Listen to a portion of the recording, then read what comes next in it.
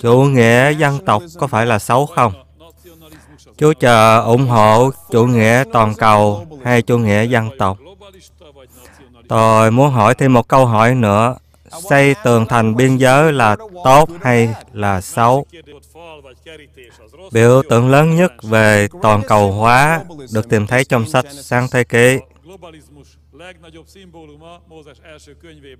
Có một nỗ lực đem mọi người hiệp một lại với nhau, tập trung lại thành một quyền lực, được gọi là tháp ba bên. Chúng ta có thể gọi nó là tháp chủ nghĩa cộng sản. Trong chương 11, sách sáng thế ký, thở ấy cả thế giới chỉ có một ngôn ngữ. Trong câu 4, họ nói, hãy đến, hãy xây cho chúng ta một thành và một ngọn pháp có đỉnh cao đến tận trời. Được Chúa Trời đã suy nghĩ gì về công việc làm của họ? Ngài không bằng lòng về việc xây dựng của họ. Trong câu 6, bây giờ Chúa phán, này cả nhân loại đều là một dân và chúng nói một ngôn ngữ. Đây mới chỉ là việc chúng khởi xử làm. Từ nay chẳng có gì chúng trù tính mà sẽ không thực hiện được. Hãy đến, chúng ta hãy xuống và làm rối loạn ngôn ngữ của chúng để chúng không thể hiểu tiếng nói của nhau. Vậy Chúa đã làm cho họ phải từ đó tản mát khắp mặt đất và họ đã phải đành ngưng công cuộc xây dựng thành. Một thành chứ không phải chỉ là một tháp nha các bạn. Người Do Thái nói rằng kể từ đó Chúa Trời đã tạo ra 70 quốc gia 70 quốc gia có nghĩa là có khoảng 70 ngôn ngữ. Xin hãy hiểu cho rằng Đức Chúa Trời đã tạo dựng ra các quốc gia. Quỷ sa tăng thì muốn chủ nghĩa toàn cầu hóa, còn Chúa Trời thì muốn có nhiều quốc gia. Khi Liên hiệp Âu Châu xây dựng trụ sở của mình, họ đã cấu trúc theo kiểu tháp ba bên. Bức tượng trong sách Daniel, bàn chân được pha trộn bởi sắt và đất sét. Và trong sách Daniel đoạn 2 câu 41 đến 42, một phần đất sét và một phần sắt có nghĩa là đế quốc này có một phần mạnh cũng có một phần giòn, yếu giòn. Phần bằng sắt có nghĩa là nước Liên hiệp Âu Châu. Vậy phần bằng đất sét là gì? Chúng ta thấy Âu Châu bằng sắt lẫn lộn với đất sét. Đất sét là một nhóm hoàn toàn là người ngoại quốc.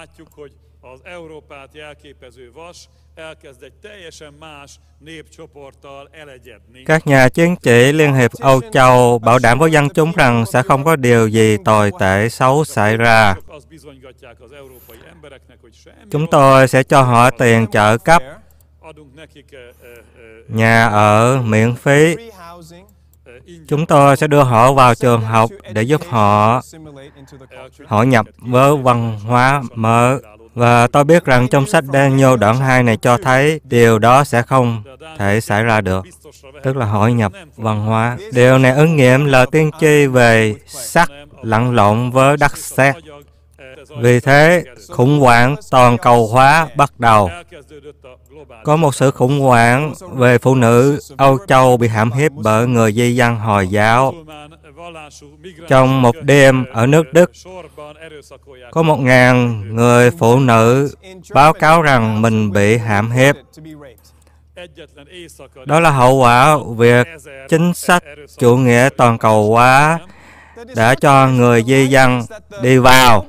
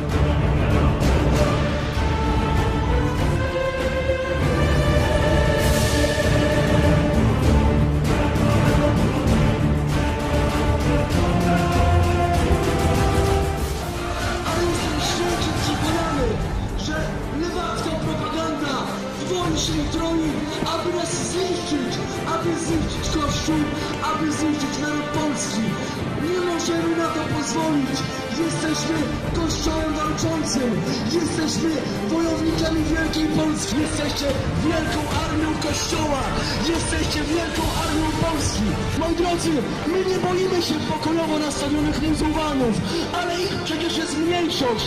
My się boimy fundamentalizmu. My nie chcemy w Polsce przemocy.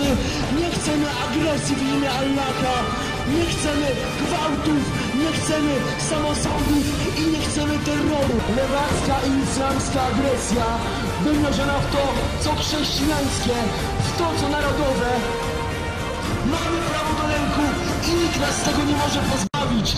Ale boimy się, że ten strach, że ten lęk, że ta obawa Tutaj jest nasza ziemia, nasz kraj, nasze prawa i zasady. Tutaj królem jest Jezus Chrystus. Nie interesują nas żadne dyrektywy i kwoty imigrantów, które gdzieś tam sobie przydzielają.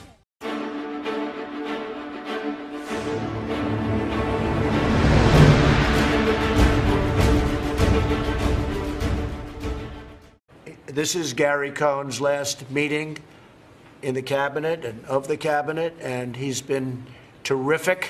He may be a globalist, but I still like him. he is seriously a globalist, there's no question. But you know what? In his own way, he's a nationalist because he loves our country.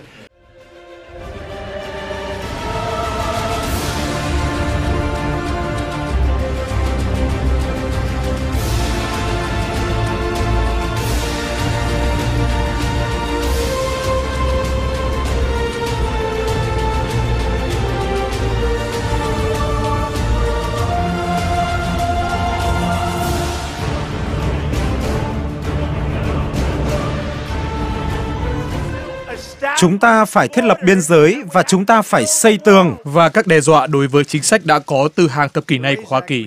Đạo luật Race ngăn cản di dân và người nhập cư mới được hưởng phúc lợi. Dựa trên tiền đề bảo vệ biên giới đất nước và thúc đẩy kinh tế, đó như một phước lành cho người ủng hộ Tổng thống Trump, nhưng là lời nguyền cho hàng triệu người khác. Trong số đó là các nhân công thế hệ millennial không có giấy tờ hợp lệ, được đưa đến Mỹ từ lúc nhỏ, những người được hưởng quy chế bảo vệ tạm thời, người tị nạn và du khách từ một số quốc gia chủ yếu theo đạo hồi. Tại nhiều thành phố đa dạng sắc tộc của New York, nhiều người lên tiếng. Đây là chuyện ông Trump củng cố quyền lực dựa trên sự sợ hãi. Nó không liên quan gì đến việc bảo đảm an toàn cho chúng ta. Họ chỉ sợ chúng tôi thôi và điều đó không nên bởi vì cùng nhau chúng ta sẽ mạnh mẽ hơn. Nhưng hy vọng tạo lập một tương lai ở Hoa Kỳ đã trở nên bấp bênh hơn. Sau một năm với nhiều tranh cãi ở tòa, lệnh di trú của ông Trump hiện đang có hiệu lực đối với du khách từ 8 quốc gia, trong đó có 6 quốc gia đa số theo Hồi giáo. Ngoài ra, chính phủ của ông Trump đã cắt giảm tổng số người tị nạn hơn một nửa vào năm 2017 và thậm chí còn ít hơn vào trong năm 2018. Đích nhắm kế tiếp là nhập cư diện bảo lãnh gia đình, hay còn gọi là nhập cư dây chuyền.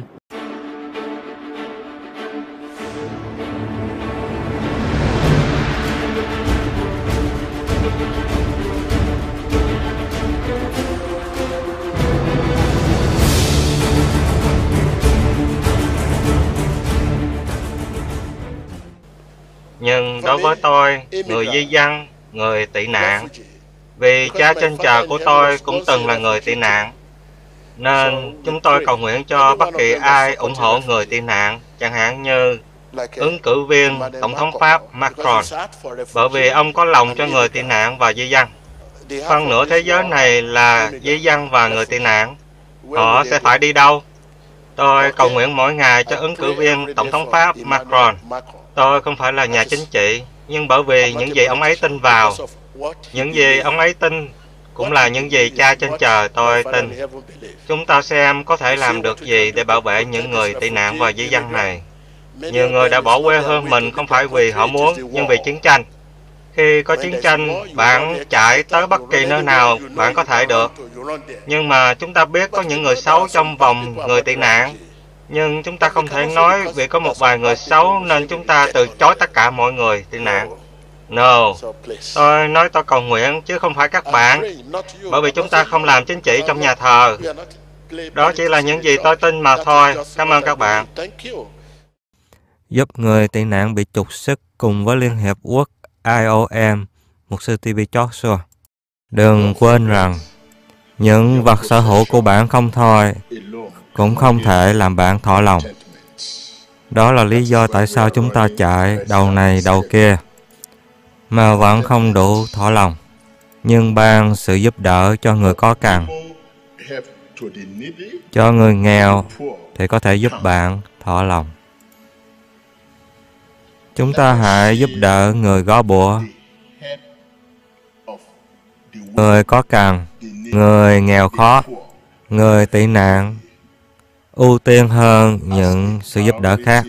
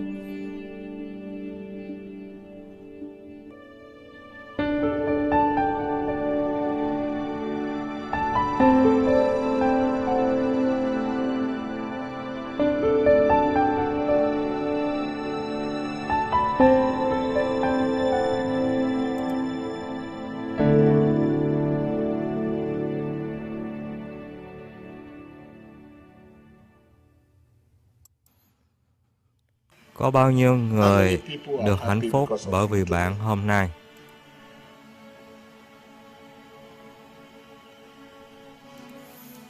Có bao nhiêu đời sống mà bạn đụng chạm lòng?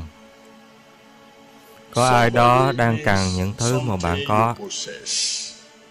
Nó có thể là tình thương của bạn, nụ cười của bạn, một cách thật lòng. Nó có thể là tiền bạc của bạn, sức lực và thời gian. Khi bạn cho một người nào đó trong một cách mà đẹp lòng Chúa chờ, thì có ai đó đang đợi để cũng ban lại cho bạn. Không có cách nào khác để chuẩn bị cho năm mới. Cách tốt nhất là hãy để tình yêu thương dẫn dắt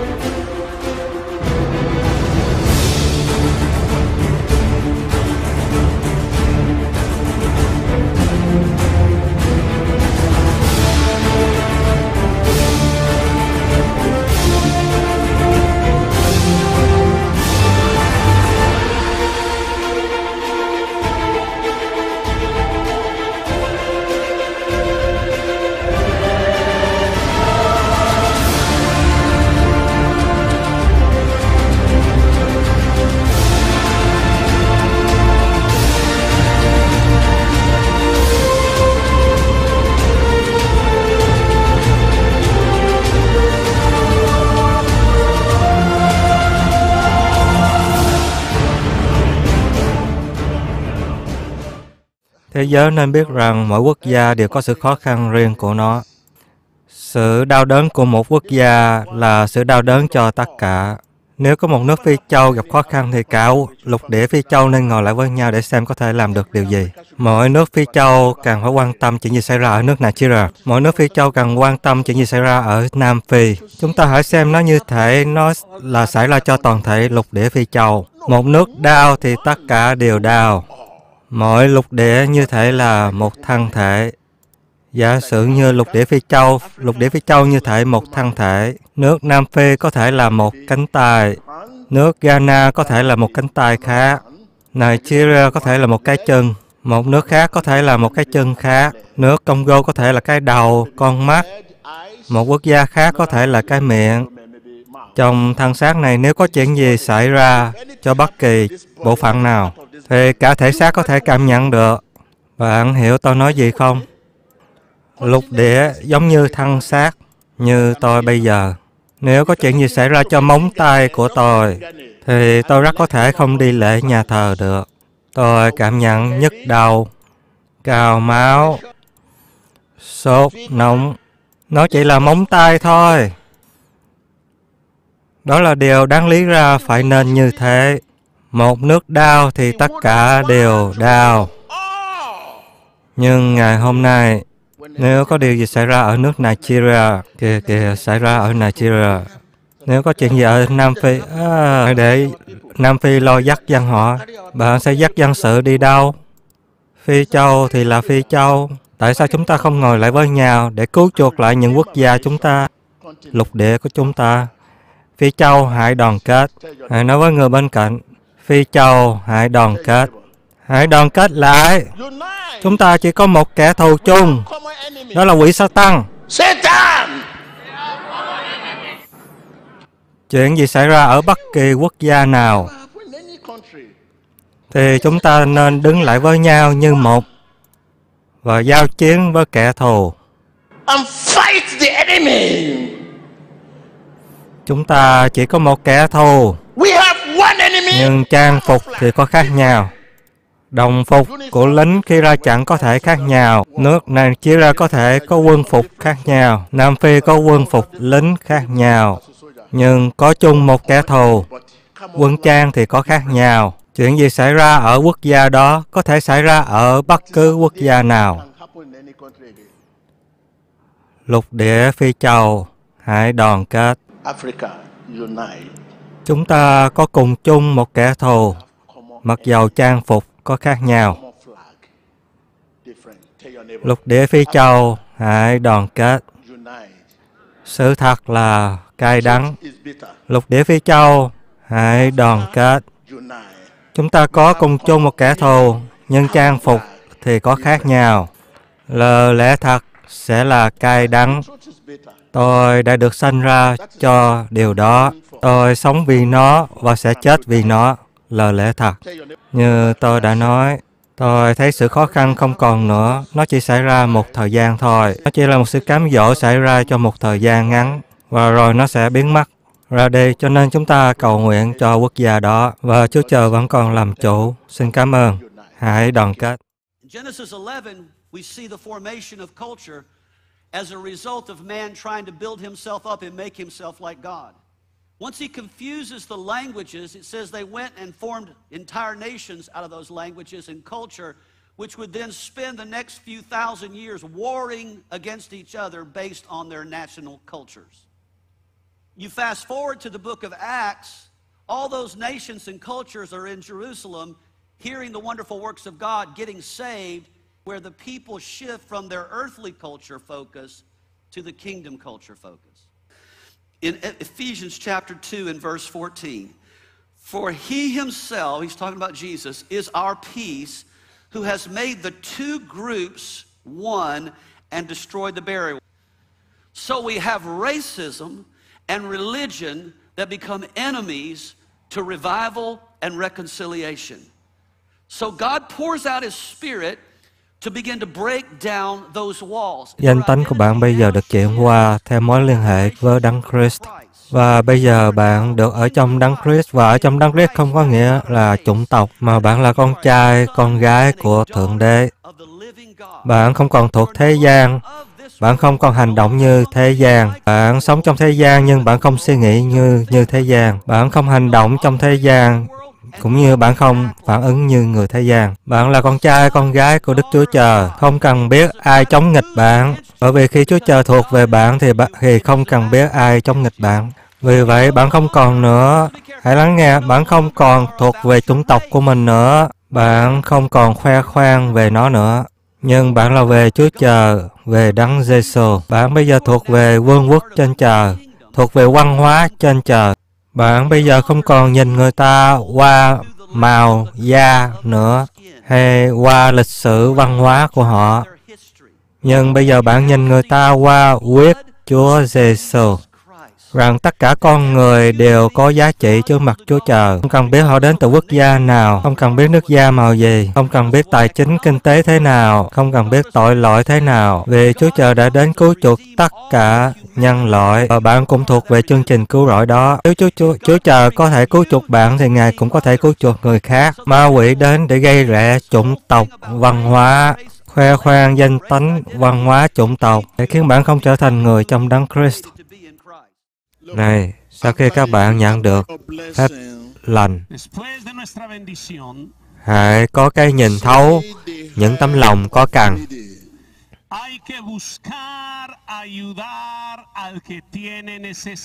Amen.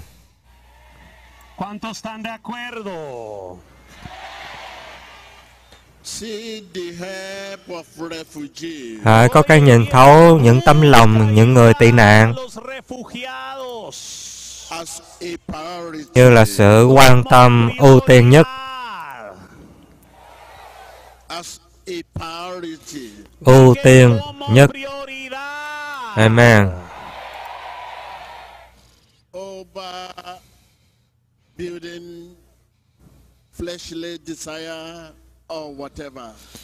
hơn cả những công trình xây dựng những nhu cầu xác thực hay bất cứ điều chi. Đây là cách mà chúng ta cảm tạ Chúa Trời.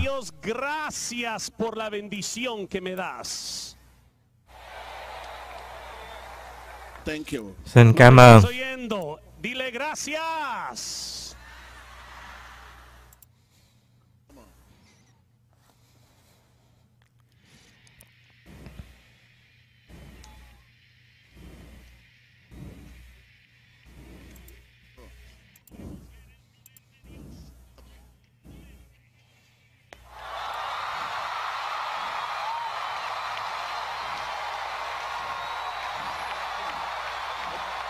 Podemos ver el poder de Dios.